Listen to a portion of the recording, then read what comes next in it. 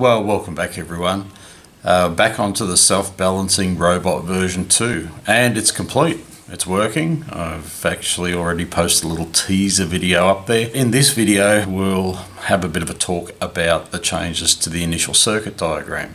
Now the circuit design and the PCB have both been shared and I'll put a link uh, down below so that you can uh, shoot over to that project and grab the uh, circuit board files if you would like to actually manufacture some for yourself. One thing I would mention, the weather here is atrocious and I'll just post a little bit of video there. It's um, gone from being you know quite nice to just disgusting. So not feeling too bad about being stuck inside producing these videos this weekend because it's just diabolical outside. Anyway, let's take a look at the circuit now.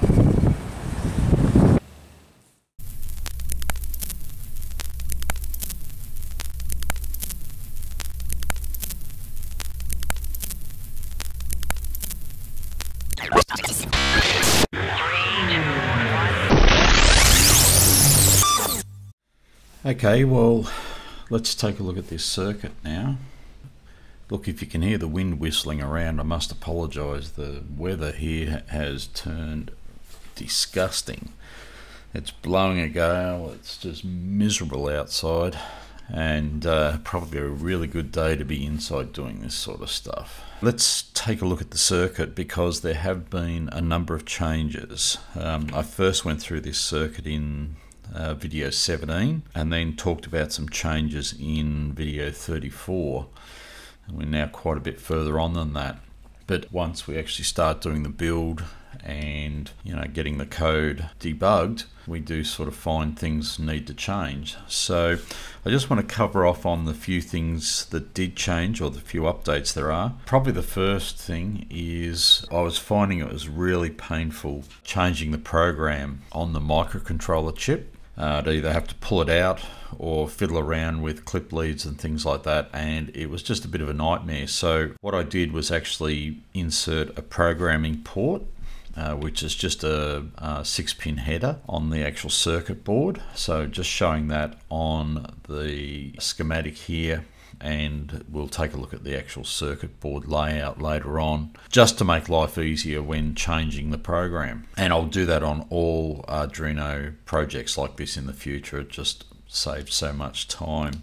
So that's the first thing that's changed. I guess the other thing that I should mention the MPU 6050 um, I'm using the DMP in the code which I'll go into in another video and normally it relies on the interrupt out of the 6050 into the Arduino to let it know when there's new data. Because I'm using interrupts also for the stepper control, I found there was some problems with the actual stepper control when using the 6050's interrupt.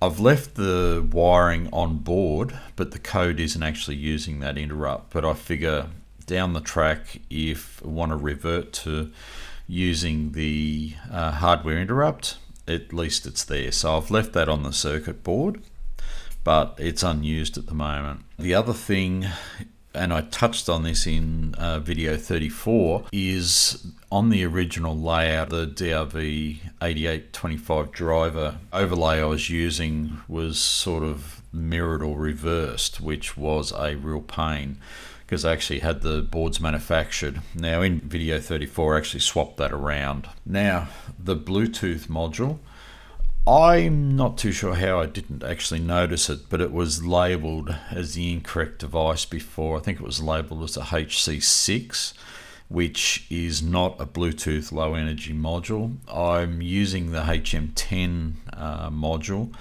and the reason I'm doing that is because with Apple devices, if you want to communicate over normal Bluetooth, it has to have an Apple chip on it, and that costs a bazillion dollars. But if we go to using uh, Bluetooth Low Energy, um, so BLE4, no such requirement, so we can connect to it no problem at all. I'm using the same uh, control app for iOS that I built for the previous robot to control this one, and it needs to be a HM10. And the actual layout of the pins on the header is slightly different. They're not used, so it doesn't matter. However, that's now correct.